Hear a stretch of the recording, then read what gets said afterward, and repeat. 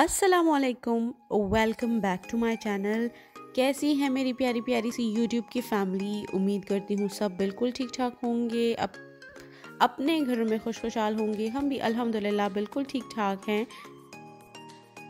तो आज का जो व्लॉग है ना, वो मुख्तलिफ़ वीडियोस को मैंने इकट्ठा करके बनाया है। किसी एक दिन का व्लॉग नहीं है।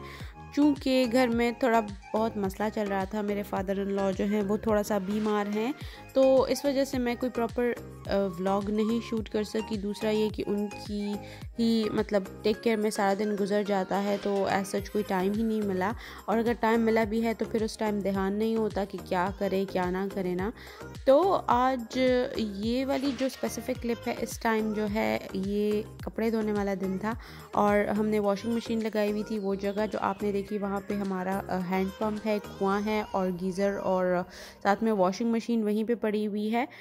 और दूसरा जो है, हम जब कपड़े धोते हैं तो उस जगह पे धोते हैं और, अगर ऐसा हो कि लाइट ना हो या मोटर ना ऑन हो रही हो तो हैंड पंप मौजूद है तो हम उसी हैंड पंप से जो है, वो पानी निकाल के यूज़ कर लेते हैं।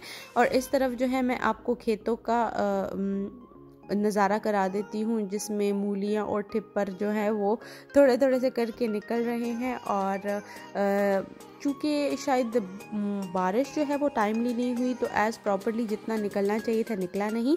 और यहाँ पे जो है गुलाब का पौधा था, जो कि मेरी मदर इन लॉ ने काट दिया, क्योंकि उसके हमें कीड़ा लगा हुआ था। और साथ में जो है यहाँ पे नेबर्स को चाहिए था तो उन्होंने उसकी जो कलमे हैं, वो काट के उनको दे दी। और यहाँ पे जो है, इस फुटेज में जो है, अब यहाँ पे फ़र्श धोने वाला दिन है। और मेरी जो नंद है, वो लगी हुई है फ़र्श धोने में, और सारा घर ही उसने वॉश किया। और मैंने इस टाइम तितली को बिठा दिया, नीचे चटाई डाल के, क्योंकि वो चारपाई पे बहुत ज़्यादा तंग हो रही थी। और कह रही थी कि मुझे नीचे बिठा दो तो बस फिर यहाँ पे खुश्क हो गई थी, धूप लग चुकी थी अच्छी खासी। तो मैंने उसको चटाई पे उसके टॉयज़ रख के दे दिए। एक्चुअली ये चटाई जानमाज वाली चटाई है। तो बस फिर ये बैठ के खेलने लगी। फिर उसके बाद कुछ देर बाद मैंने नमाज़ पढ़नी थी तो मैं उसको साथ में अंदर ले आई क्योंकि उसको कंटिन्यूसली जो है आ, किसी एक बंदे की निगाह में रखना होता है क्योंकि फिर ये ख़ुद को दुखा देती है। तो इधर मैं नमाज़ पढ़ी थी और बेड के नीचे जो है मैंने रखे हुए थे बिस्किट्स के डब्बे और मैडम को मिल गए और एक डब्बे का भी सत्यानाश कर दिया और दूसरे डब्बे का भी सत्यानाश कर दिया। डब्बे बिल्कुल फाड़ दिए इसने और शॉपर इसको बहुत पसंद है, इसकी शॉपर की आवाज़ तो बस उसी के साथ खेल रही थी और देखते ही देखते जो है वो सारा बिस्किट्स के डब्बे तस नस हो गए।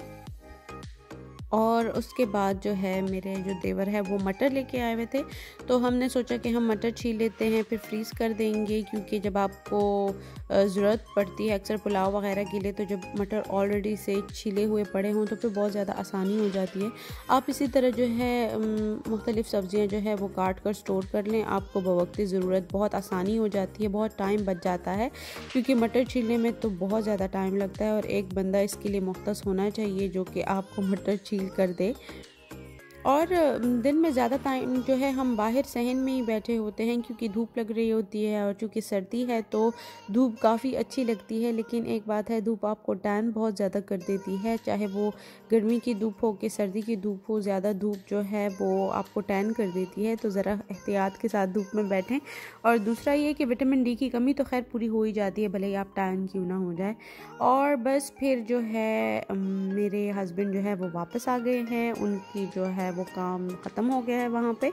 और चूँकि गाड़ी साथ लेके गए हुए थे तो वहाँ पे सच कोई प्रॉपर गराज वगैरह नहीं था। तो जिस वजह से गाड़ी जो थी वो बाहर ही खड़ी थी तो अच्छी खासी मैली हुई हुई थी। और मेरे हस्बैंड उन लोगों में से हैं जो एक बार गाड़ी गाड़ी धोने पर आ जाए ना तो तीन, चार घंटे तो आराम से उनके निकल जाते हैं।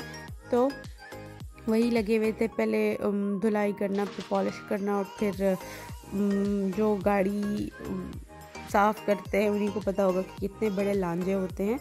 तो इस टाइम मैं बैठी हुई थी गाड़ी में और इधर उधर का क्लिप बना ही रही थी। फिर मेरे हस्बैंड ने कहा कि उनकी कुछ फ्रेंड्स उनसे मिलने आ रहे हैं तो बस झटपट जो है वो चाय की तैयारी शुरू कर दी। मैंने सोचा सबसे पहले तो पकौड़े बना लेती हूँ, और पकौड़े के लिए भी मैंने एक आलू को पतला पतला सा स्लाइस किया, एक आध अनियन डाला, हरा धनिया, हरी मिर्च, और बेसन और उसके साथ जो है मैंने बीच में मिक्स मसाला डाला, थोड़ा सा सूखा धनिया और बस सिंपल से जो है वो पकौड़े मैंने फ्राई कर लिए।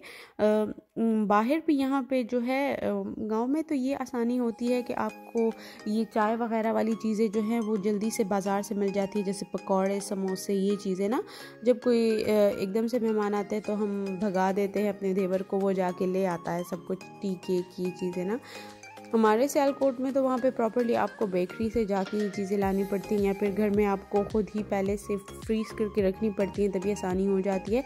लेकिन यहाँ पे मिल जाती है आसानी से बाहर, लेकिन जो टेस्ट जो है वो घर की चीज़ का होता है, वो बाहर की चीज़ का नहीं होता। तो मैंने सोचा कि चलो मैं घर पर ही पकौड़े बना देती हूँ चूँकि मेरे हस्बैंड के स्कूल टाइम के फ्रेंड्स थे तो मैंने सोचा चलो थोड़ा बहुत स्पेशल फील कराना ही बनता है ना। तो यहाँ पे मैं कर रही थी टेस्ट टेस्टिंग और पकौड़ा बहुत ज़्यादा मज़े का था। मैंने ज़्यादा स्पाइसेस नहीं डाले। क्रिस्पी बने, बहुत मज़े के बने थे। और साथ ही में जो है मैंने मैक्रोनीज़ बनाई थी तो वो भी साथ में मैंने रख दी, उसकी रेसिपी मैं नहीं शूट कर सकी। और साथ ही में मैंने चाय रख दी थी, चाय को मैंने पानी, पहले नहीं उबाला, बस पानी और दूध मैंने इकट्ठा करके डाल दिया और उसमें गुड़ डाला और चाय की पत्ती और एक आध इलायची डाल के मैंने चाय बना ली और बहुत, माशाल्लाह बहुत मज़े की चाय बनी थी। और बस देखते ही देखते जो है वो मैंने सारे पकौड़े भी बना लिए और साथ में चाय भी रेडी हो गई और जो है मैंने सब बर्तन निकाल के जो है मैंने उनको सर्व कर दिया और मैं आपको दिखाती हूँ कि मैंने चाय में और क्या क्या रखा था। घर पे जो थी वो रेवड़ी भी पड़ी हुई थी, वो रखी और साथ में खजूरें रखी और पकौड़े थे और टी केक था और कैचअप और बस मैक्रोनी जो है वो मैंने इनको ट्रे बना के दे दिया और ये जो है वो बाहर फिर वो बैठक में जाके रख दी उन्होंने। और फिर उसके बाद जो है चाय भी थर्मस में डाल दी और मैंने देवर को दे दिया। वो ले गए बाहर बैठक में। यहाँ पे तो ज़्यादातर जब गेस्ट वगैरह आते हैं तो वो बाहर ही बैठते हैं और चाय वगैरह जो है वो फिर किचन से बनकर चली जाती है। ये ट्रे का आप लोग देख लें क्या क्या चीज़ें मैंने रखी हैं। यहाँ की चाय वगैरह ये सब कुछ बहुत सिंपल होता है। फिर उसके बाद असर में जो है मैं अपने हस्बैंड के चचा की तरफ़ चली गई थी, वहाँ पे मैंने बैठकर जो है बस चाय पी और उन्होंने साथ में निमको और बिस्किट वगैरह सर्व किए थे। तितली बहुत इन्जॉय करती है उनके घर पे क्योंकि वहाँ पे उन्होंने मुर्गियाँ रखी हुई हैं तो मुर्गियों को देख के वो बहुत ज़्यादा खुश होती है। बस वहाँ पे मैंने चाय पी और असर की नमाज़ पढ़ने के बाद मैं घर वापस आ गई और यहाँ मैं आपके साथ शेयर करूँगी एक अनबॉक्सिंग मेरी जो नंद है, उन्होंने एक हुडी ऑर्डर की थी गूगल से चूँकि अभी कोई ऑफ़र्स वगैरह भी चल रही थी तो उसने जो है एक हुडी ऑर्डर की है अपने लिए। तो वो मैं आपको अनबॉक्स करके दिखाती हूँ आपके साथ शेयर करती हूँ। कुगर की वैसे जो ये स्वेट शर्ट्स हैं वो बहुत ज़्यादा अच्छी हैं क्योंकि मेरे हस्बैंड यूज़ करते हैं और रनिंग वगैरह उनमें करते हैं तो आ, मुझे तो काफ़ी अच्छी लगती हैं कुगर की शर्ट्स और ये हुडी है आप देख सकते हैं कुछ नेवी और ऐसे स्ट्राइपी स्ट्राइपी सा पैटर्न है इसका। और बहुत खूबसूरत थी और सबसे मज़े की बात यह कि काफ़ी वार्म स्टफ़ है। इसका ऊपर से तो थोड़ा सिल्की सिल्की था लेकिन अंदर की तरफ़ जो है वो बिल्कुल फ्लीस वाला स्टफ़ था। तो मुझे भी बहुत ज़्यादा अच्छी लगी हुडी। अगर मेरे हस्बैंड को पसंद हुई तो हम उधर से जाके सियालकोट से ही परचेज़ कर लेंगे क्योंकि वहाँ पर तो हमें एडिशनल जो है वो डिस्काउंट भी मिलता है सियालकोट में। तो आ, मुझे बहुत अच्छी लगी और अच्छी, काफ़ी अच्छी परचेज़ थी। उम्मीद करती हूँ आपको आज का ब्लॉग अच्छा लगा होगा। माजरत चाहती हूँ छोटे छोटे क्लिप्स के लिए और नेक्स्ट टाइम के लिए इजाज़त दें। खुदा हाफिज़। अपना ख्याल रखें, अपने प्यारों का ख्याल रखें और हमें दुआओं में याद रखें। खुदा हाफिज़। अल्लाह पामान। And don't forget to like, comment, share and and subscribe. Bye bye